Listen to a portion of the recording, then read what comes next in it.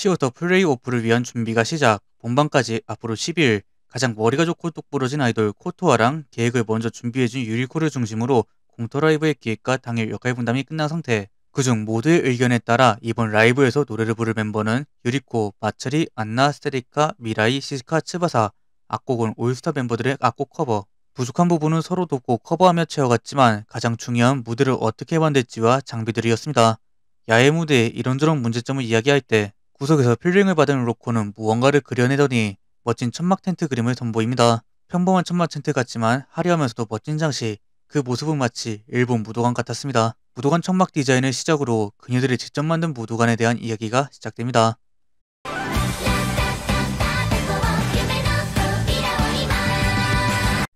라이브를 위해 열심히 레슨을 하는 라이브 멤버들 그때 무드를 만들 때 사용하는 신세계 천막이 들어옵니다. 이게 그녀들의 무도관이 될 도구 필요한 장비와 설계도는 현장 대신들에게 받았기에 그거대로 만들면 되지만 가장 중요한 그녀들이 직접 만들었다는 뜻이 담겨진 천막 꾸미기 어떻게 꾸밀까 생각할 때 마치리가 직접 바느질을 해서 만들어 나가자고 합니다. 많은 양이라 무리라 생각하긴 했지만 열심히 시간을 쪼개가며 다양한 친구들이 도와주며 천막을 꾸미기 시작합니다. 열심히 함께 천막을 꾸며갈 때 미라이는 천막에 각자 쓰고 싶은 말을 쓰자고 제안합니다.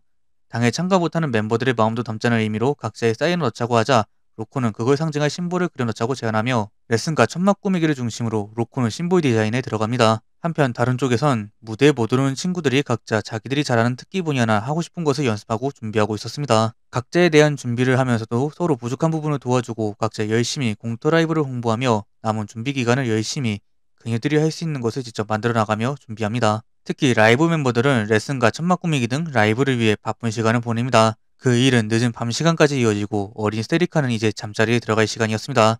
이제 밤도 깊었으니 침낭을 가져다주는 프로듀서 각자 침낭을 피고 안에 들어가자 마치 애벌레처럼 변한 그녀들 미라이는 진짜 애벌레처럼 기어다니네요. 장난치는 미라이를 말리고 이제 잠자리에 들 시간 레슨실 불을 끄기 직전 미라이는 모두에게 고마움을 전합니다. 아이돌이 되기 전에는 이런 만남이나 이런 경험을 해보지 못했던 미라이 하지만 아이돌이 되며 다양한 것을 알아가고 지금 모두를 만나고 알게 되며 다 같이 한마음으로 무언가를 하는 게 두근거리고 즐겁다며 고맙단 말을 하는 미라이. 그 마음은 여기 있는 모두가 같았습니다. 모두에게 프로듀서에게 이 만남과 경험을 준 것에 감사. 그 감사의 마음은 프로듀서 역시 같았고 무언가의 비전이 또다시 보였습니다. 그 비전은 아티스트 로코에게도 feeling을 주었으니 천막의 심볼 마크가 드디어 완성되었습니다. 나비, 다 같이 애벌레 이야기를 했을 때 꿈에서 애벌레를 보았던 로코는 애벌레가 번데기가 되고 나비가 되어 하늘을 날아오르는 상징을 생각했고 그것을 모티브로 나비 문양을 완성하게 됩니다. 그녀들의 모습을 상징하는 심볼의 탄생과 함께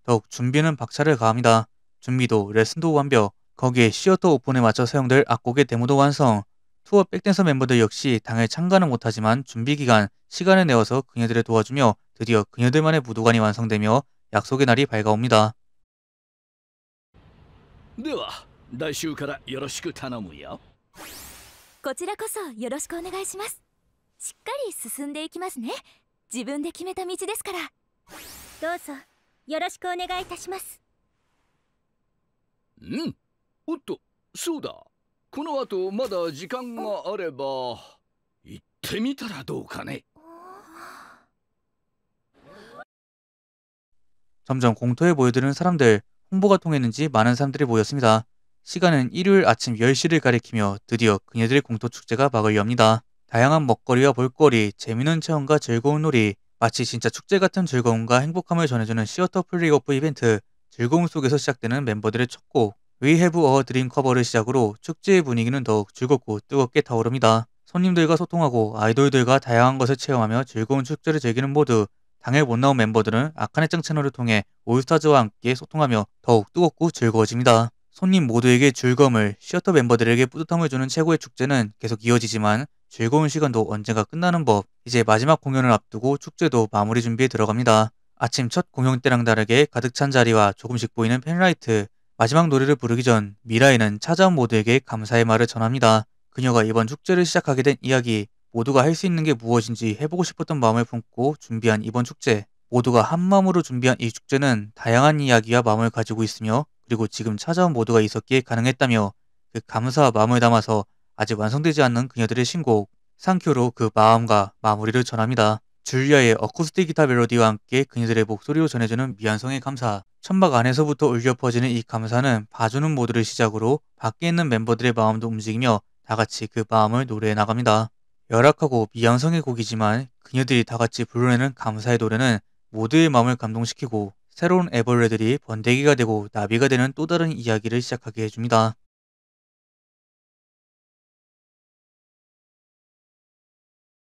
그렇게 마지막 공연을 끝으로 바쁜 일요일이 끝나며 즐거운 축제도 아쉽게 끝이 납니다. 하지만 그녀들의 이야기는 아직 끝나지 않았습니다. 이 축제가 그녀들의 통과점, 다음은 진짜 시어터에서 그녀들의 이야기를 시작하면 됩니다. 하지만 静か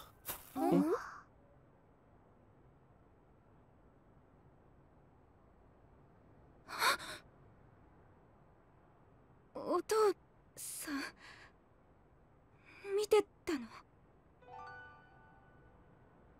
あんなことなのかお前がやりたいのは。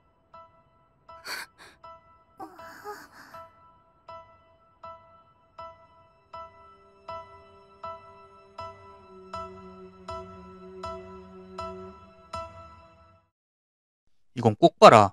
이 말밖에 나오지 않았던 오화.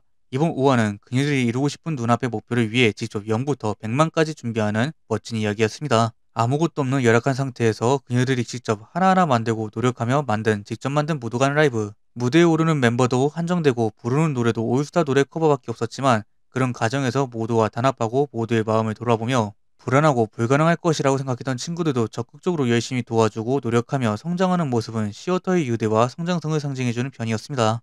열악함 속에서 하나하나 준비하고 같이 노력하고 해결하며 직접 하나하나 만들며 각자가 할 수 있는 것을 함께 하고 즐기는 이번 이야기 그리고 그 속에서 그녀들을 대표하는 심볼마크의 탄생 애벌레가 번데기가 되고 나비가 되어 날아오르는 상징인 나비 이 작은 시작은 마치 애벌레가 번데기가 되는 과정 그리고 그녀들이 최고의 결과를 낸 직접 만든 무도관 라이브는 그녀들의 꿈을 향해 날아오르기 시작했다는 의미를 담았다고 생각합니다. 그 상징이 로코가 만든 바로 나비 심볼, 드디어 밀리언 스타즈의 시작을 알리는 장면이었다고 생각합니다. 특히 이번 편은 사요코, 카렌, 모모코의 심경의 변화가 포인트라고 생각합니다. 4화 당시 공터 라이브에 앞서 경험이 부족했기에 가장 불안감이 컸던 사요코랑 카렌. 하지만 5화에서는 누구보다 공터 라이브 주최자였던 미라이네를 가장 적극적으로 도와주고 당일 직접 손님들을 인솔하여 열심히 하는 모습은 그녀들의 두근거림이 불안감을 뛰어넘었다는 것을 보였으며 가장 반대하던 모모코 역시 자신이 할 수 있는 부분에서 열심히 준비하였고 사람들 사이에 섞여서 다양한 일도 해보고 누군가를 도와주며 변해가는 마음이 가장 인상적이었습니다. 그리고 그 과정에서 그녀를 느끼는 이 속에 담겨진 다양한 마음과 자신들의 부족한 모든 것을 봐주고 즐겨주는 찾아온 손님들에 대한 감사 그리고 마지막 그녀들 역시 다 같이 같은 무대에서 노래하고 싶다는 마음을 가지고 있다는 것을 보여주었으니 마지막 무대 때 카렌을 시작으로 천막 밖에 있는 멤버들도 함께 마지막 노래를 불러내는 장면 모두와 함께 직접 만든 미완성의 감사함 이번 편은 진짜 하나하나 감동 그 자체였습니다. 솔직히 이번 5화는 진짜 제가 백날 길게 떠들어봤자라는 생각이 들 정도로 직접 봐야지만 이야기 속에 담겨진 모두의 마음과 감동 그리고 감사가 전해진다고 생각합니다. 5화는 그녀들의 감사를 담은 직접 만든 무도관도 무도관이지만 이번 편은 츠무기 카오리의 등장도 메인이었다고 생각합니다. 모두가 축제를 준비하는 이야기 속에서 새롭게 꿈이라는 날개를 펼치는 두 사람의 등장 그리고 직접 그 무도관에 가서 모두의 라이브를 보고 꿈이라는 첫 페이지를 보게 되고 미라이의 손을 잡는 연출은 정말 감동 그 자체였습니다.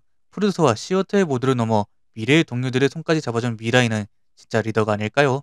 37명이라는 프로젝트에서 츠무기 카오리까지 참가하여 다음 6화부터는 상큐 프로젝트의 시작 애니에서는 상큐 프로젝트가 아닌 밀리언 스타즈라는 프로젝트가 따로 있지만 이것도 어떻게 보면 밀리언을 상징해주는 부분이라 생각하니 다음 6화를 빨리 보고 싶은 마음이 커지네요.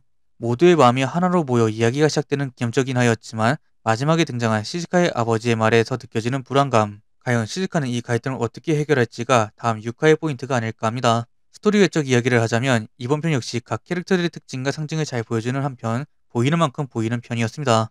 공터 라이브를 준비하는 과정에서 각자 자신들의 개성을 더 어필하여 자기 어필을 하기 위한 준비를 하는 과정 댄스를 잘하는 친구는 춤을 추고 요리를 잘하는 친구들은 먹거리를 준비 그 외 다양한 취미나 특기를 가진 친구들은 그것을 살려서 다양한 체험과 볼거리를 제공하였는데 딱 이번 5화까지 멤버들의 각자의 개성을 잘 보여주는 부분이었습니다. 사실 이번 편은 캐릭터들의 개성을 보여주는 한편 5화는 그냥 성우네타와 라이브네타 아는 만큼 보이는 역사의 페이지들의 어필이 참 많았습니다. 특히 츠무카오 등장이 그 오마주를 잘했는데 직접 만든 무도관은 밀리 자체를 의미하며 동시에 포스 라이브의 무도관을 상징하는데 츠무기와 카오리가 공터 라이브를 보러 가는 장면은 이전 Fourth전 발탁된 사키 씨와 아리사 씨가 3일간 라이브를 가서 선두 멤버들을 보고 마음을 품었다는 그 의미를 애니적으로 잘 풀어낸 것 같아서 감동이었습니다. 그리고 이번 5화가 방송된 주가 바로 밀리 10주년 투어 라이브 Act 3 Raise the Dream이 사용되는 주 거기서 선보인 곡이 추후에 애니에서도 나온다고 하네요. 1일차 오프닝인 라타타와 톱이 끝나고 나온 We Have A Dream이 애니 첫 스타트를 찍어주는 그녀들의 첫 커버였는데 이게 애니로 나오니 와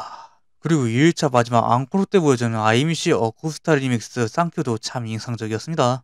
애니 기준 미완성곡이라 주유와 어쿠스틱을 MR 삼아 모두랑 함께 불렀는데 그걸 라이브 앙코르 마지막에 오마주에서 보여주니 그저 감동이었습니다. 밀리라지에서 미라이 역의 야마자키 하루카 씨가 계속 이번 Act 3 봐야 한다고 언급했는데 양일간 보여준 라이브는 진짜 애니 헌정 라이브라고 해도 될 정도였습니다. 라이브 공연이고 특히 Act 3와 5화는 직접 보라고밖에 못하겠네요. 그럼 이번 5화 리뷰 여기서 마치고 전 다음 6화 리뷰로 찾아오도록 하겠습니다. 그럼 안녕